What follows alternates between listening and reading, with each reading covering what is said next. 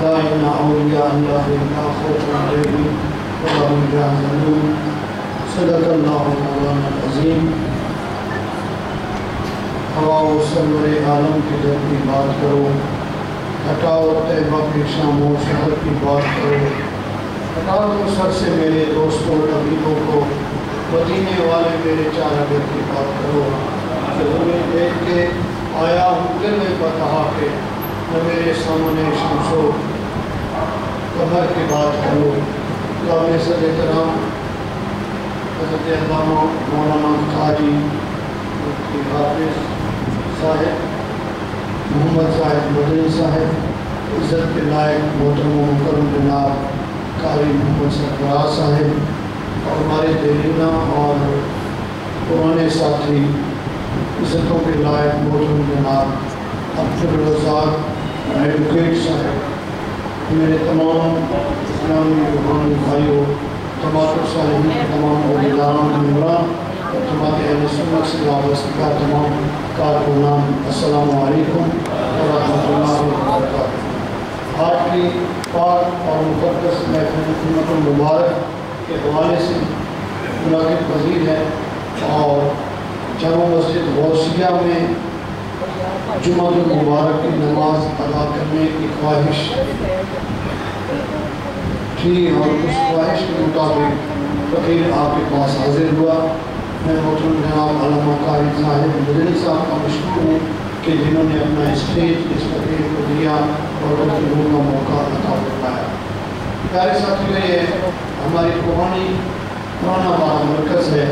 چودھری عبدالرزاق صاحب ایڈوکیٹ صاحب بھی گواہ ہیں۔ اور خوشی مولانا علامہ خوشی محمد سے رحمۃ اللہ تعالیٰ نے کی محبتیں بھی ہمارے ساتھ رہتی تھی اور ہم عموماً اس وجہ شریف میں حاضر کیا کرتے تھے الحمدللہ غوث پاک کا نام ہے اور مسجد غوثیہ ہے شریف کا دن ہے رات گزر گئی ہے اور پیاری کا دن ہے اللہ پاک کا فرمان ہے اللہ خبردار انا اولیاء اللہ ہے یہ جو اللہ کے دوست ہیں، لا خوف ان کو کوئی خوف نہیں۔ ولا ہم یحزنون اور نہ ہی ان کو کوئی حزن ہے۔ ہر خوف اور خطرے سے، حزن سے، فکر سے یہ آزاد ہیں۔ کیوں آزاد ہیں؟ اس لیے کہ اولیاء اللہ کا معنی اللہ کے دوست ہیں۔ جو اللہ کا دوست ہوتا ہے، وہ دنیا کی تمام تمام تر پریشانیوں سے آزاد ہوتا ہے۔ اور جو اللہ کا دوست ہوتا ہے، اللہ کے انعام اور اکرامات ان پر وارد ہوتے رہتے ہیں۔ اور وہ اللہ سے فیوز و برکات حاصل کر کے مخلوق کے خدا میں تقسیم کرتا رہتا ہے۔ اللہ کا ولی، اللہ کا ولی ہر خوف سے آزاد ہے۔ دوستوں آج پیار شریف کا دن ہے اور مسجد کا نام بھی غوثیہ ہے۔ جمعۃ المبارک کی مقدس ساعتیں ہیں اور اسی مقدس سفر مظفر کے مہینے میں حضرت داتا گنج بخش علی حجویری رحمۃ اللہ تعالیٰ علیہ کا عرص مقدس بھی ہے۔ اور حضور داتا گنج بخش علی حجویری عرص اٹھارہ، انیس، بیس سفر اور مظفر کو ہوتا ہے۔ اور وہ اتنی عظیم ہستی گزرے ہیں کہ جنہوں نے اللہ کے امر کو مانا اور مرشد کے ذریعے سے ان کو خدا کا حکم ملا کہ جاؤ اور خوراسان کے علاقے کو چھوڑ کر چلتے چلتے آپ لاہور پہنچو اور لاہور جا کر وہاں آپ نے دین مبین کی ترویج کرنی ہے۔ انہوں نے عرض کہ حضور، وہاں تو میرے میرے پیر بھائی موجود ہیں، مجھے وہاں جانے کی کیا ضرورت ہے؟ آج ہوا نہیں، بس حکم ہے، جاؤ۔ اب تشریف میں آتے ہیں اور آ کے دروازے گیٹ کے باہر رات کو پہنچتے ہیں۔ لاہور کا دروازہ بند ہے اور جب صبح ہوتی ہے تو ایک جنازہ نکلتا ہے۔ اور جنازے والوں نے بتایا کہ جو بندہ بھی پہلے ہمیں ملے گا گیٹ سے باہر، مرحوم کا حکم ہے کہ میرا جنازہ وہی کرے۔ یہ کار ملی ہوئی ہوتی۔ ہے نسبت ملی ہوئی ہوتی ہے۔ پہلے زمانے میں موبائل فون نہیں تھے ٹیلی فون نہیں تھے۔ کسی کو کیسے اطلاع ہوتی تھی؟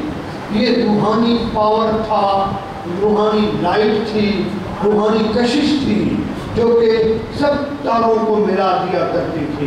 اور ان تاروں کو چھوڑ کے، ان نعتوں کو چھوڑ کے، ان رشتوں کو چھوڑ کے یہ اتنا قرب میں آ جاتے تھے کہ ایک دوسرے کے مقام اور مرتبے کا ہر ولی کو پتہ ہوتا تھا کہ کون ولی کس مقام پر ہے۔ اور جب جنازے کا آرڈر ہوا، پتہ چلا کہ وہی پیر بھائی جن کے لیے کہا گیا تھا کہ حضور میرا پیر بھائی وہاں ہے، تو مجھے کیا ضرورت ہے؟ جنازہ انہی کا تھا اور وہی فرما رہے تھے کہ جو پہلے ملے گا، وہی جنازہ پڑھے گا۔ رب کی حکمت یہی تھی کہ گیٹ کے اوپر داتا گنج بخش علی ہجویری ملے اور انہوں نے پیر بھائی کا جنازہ پڑھایا اور لاہور میں ان ہو گئے۔ لاہور کے لوگوں نے جب حضرت داتا گنج علی ہجویری کا مقام مرتبہ دیکھا، حسد ہوتا ہے، حاسدین حاسد کرتے ہیں، لوگ مخالفتیں کرتے ہیں اور انہوں نے اور کوئی ان کو رکتا نہ ملا۔ انہوں نے کہا جی ان کی جو مسجد ہے، جس میں یہ یہ عبادت کر رہے ہیں، یہ مسجد قبلہ رخ نہیں ہے، لہذا وہاں مسجد نہیں ہوتی، وہاں نماز نہیں ہوتی۔ سارے لوگ پریشان حال تھے حضرت داتا گنج نے تمام علماء کو دعوت دی کہ جناب ٹھیک ہے، اگر اگر مجھے پتہ نہیں چلتا، آپ کو تو پتہ ہے نا کہ قبلہ کس طرف ہے۔ آؤ، مجھے نشان دہی کر کے دکھاؤ۔ اب جب سارے آئے، سیدھے آزان کا ٹائم ہو گیا آزان ہوئی، نماز کا وقت ہوا کہ جناب مسجد کی لائن پھر سیدھی کرنا۔ پہلے نماز کے لیے صفیں سیدھی کرو، لیکن جب صفیں سیدھی کی داتا گنج بخش علی ہجویری نے محراب سے اشارہ کر کے فرمایا، وہ دیکھو، وہ کیا ہے۔ سب کی آنکھیں کھل گئی دیکھا تو بیت اللہ سامنے موجود۔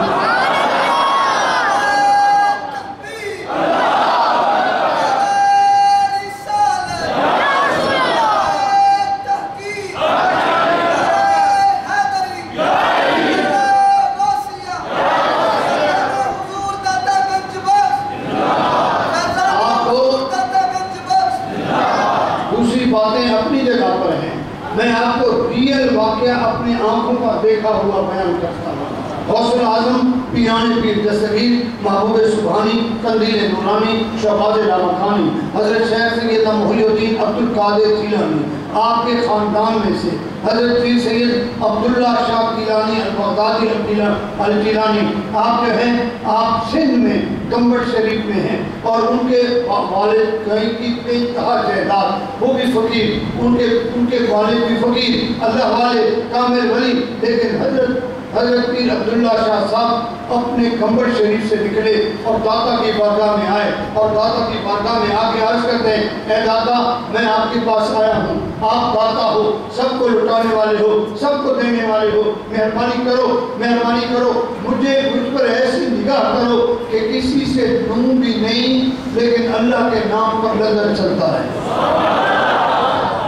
کتنی ٹھنڈی سبحان اللہ دوں بھی نہیں لنگر چلتا ہے میں نے اپنی آنکھوں سے دیکھا میری انہوں نے دعوت کی ایک بڑی محفل ہوئی بڑی بزم ہوئی ان کا طریقہ کار کیا تھا ان کے لنگر میں کبھی بھی کبھی بھی ڈالڈا بھی نہیں چلا دیسی گھی سے سالن پکتا دیسی گھی سے چاول پکتے، دیسی گھی سے پروٹھے بنتے اور مکھن اور شہد سے لوگوں کو ناشتہ کروایا کرتے تھے اور دو سو کے لگ بھگ روٹیاں مکھن اور شہد میں بھگو کے آپ دریا کے برد کیا کرتے تھے اور پھر یہ حالت تھی کہ اپنے والد کو جا کر عرض کیا، حضور، نہ مجھے جائیداد چاہیے، نہ مجھے آپ سے دولت چاہیے، نہ مجھے آپ، نہ مجھے آپ سے مسلط چاہیے، نہ مجھے آپ سے کوئی رزق چاہیے، بس مجھے یہ اجازت دیں میں ایک بلند فقیر بندہ ہوں۔ جا کر ایک کونے میں بیٹھوں گا۔ ویران سی جگہ ہے۔ وہاں بیٹھ کر میں لوگوں میں لنگر تقسیم کروں گا۔ والد نے کہا، بیٹا، لنگر تب ہوتا ہے جب جب بگاری ہوتی ہے، جب مال آتا ہے، جب دانے آتے ہیں، گندم آتی ہے اور راشن آتا ہے۔ تیرے پاس تو کچھ نہیں ہے۔ اس نے کہا، میرے پاس کچھ نہیں ہے، لیکن میرے پاس داتا کی نگاہ موجود ہے۔ اور اس کی اولاد ہوں اور داتا کی نگاہ موجود ہے۔ اور وہاں لنگر چل وہ بیٹھے تھے، بیٹھے ہوتے صبح سے لے کر شام تک خود راشن تقسیم کرتے، لنگر پکواتے رہتے، پتہ نہیں چلتا تھا کہ کہاں سے آ رہا ہے، کیسے میں نے خود وہاں پر پانچ ہزار لوگوں کو لنگر کرتے تھے اور وہ یہ نہیں کہ ٹپیکل پیری مریدی کرے تھی مریدوں کے پاس جا رہے ہیں، وہاں سے نظرانے ہاتھ آ رہے ہیں وہاں سے جگہ میں نہیں یہ بھی نہیں تھا۔ کسی مرید نے اگر دعوت کی تھی ہے تو سارا سامان راشن کا اور شامیانے اپنے گھر سے اٹھا کے جاتے، وہاں شامیانے لگاتے دنیا بچھواتے، لنگر خود پکواتے اور کہتے کہ آپ کا حکم تھا، آپ کے گھر آیا جہاں لنگر یہ فیض کرم ہوتا ہے۔ اللہ والوں کا، اللہ والوں کی جب نگاہ ہوتی ہے تو بیڑے پار ہو جاتے ہیں۔ غوث العظم پیران پیر دستگیر، محبوب سبحانی قندیل نورانی، شہباز رامکانی حضرت شیخ سیدنا محی الدین عبد القادر جیلانی، جن کے ہم اور آپ سارے غلام ہیں۔ پیرانے پیر تصویر محبوب سبحانی کا ایک کمال ہوا کرتا تھا کہ جب بھی آپ خطاب فرماتے تھے تو جنات بھی کوہ کاف سے اٹھ کے آگے آتے اور حضور حوصلہ کا خطاب سماعت کرتے۔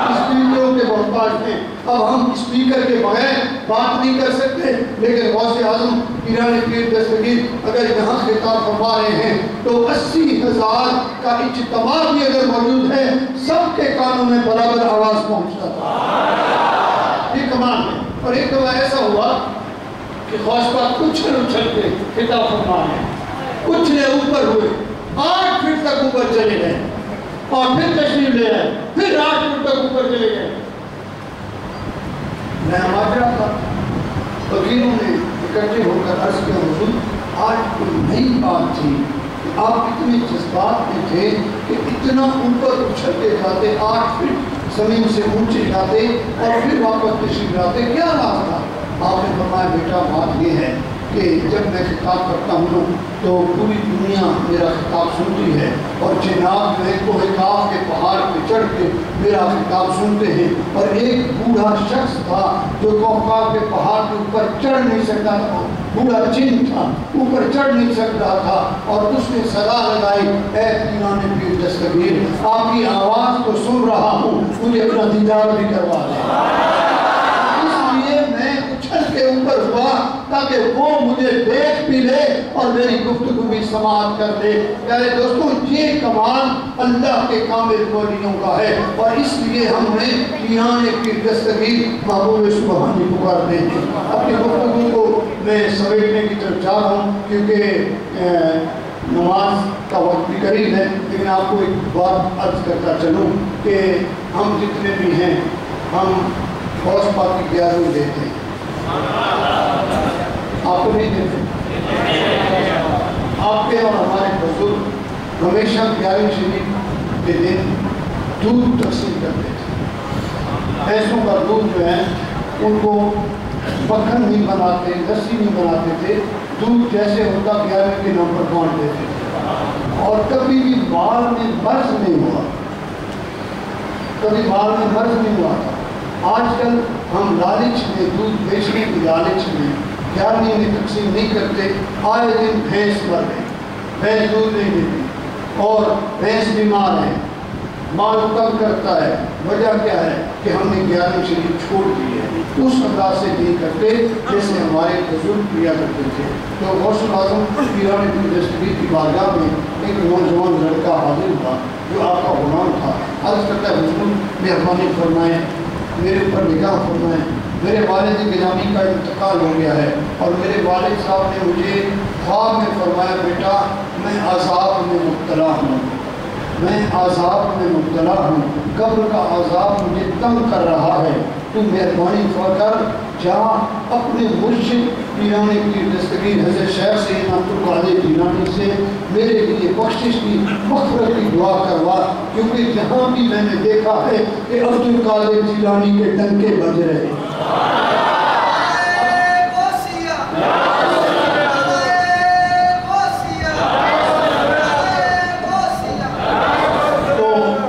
جب یہ بات سنی نا غوث پاک نے فرمایا، بیٹا، اب یہ چیز توجہ کر لیں، اس بات کی خصوصی توجہ کر لیں۔ غوث پاک نے فرمایا کہ بیٹا، تیرا والد میرا مرید تھا کہتے نہیں ہوئی مرید نہیں تھا۔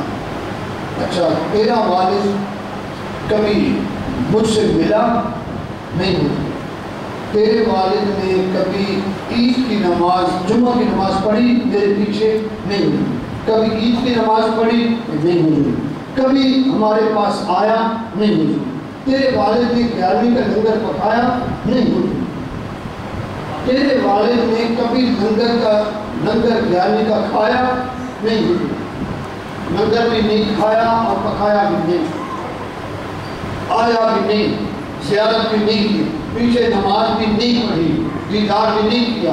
اب بہت بڑا رکمان کی دستگی ہوئی دیکھ دیکھ کر بیٹا اچھا ایک اور بات بتا تیرا والد کبھی میری اس نگری میں باب الشیخ کے علاقے میں آیا؟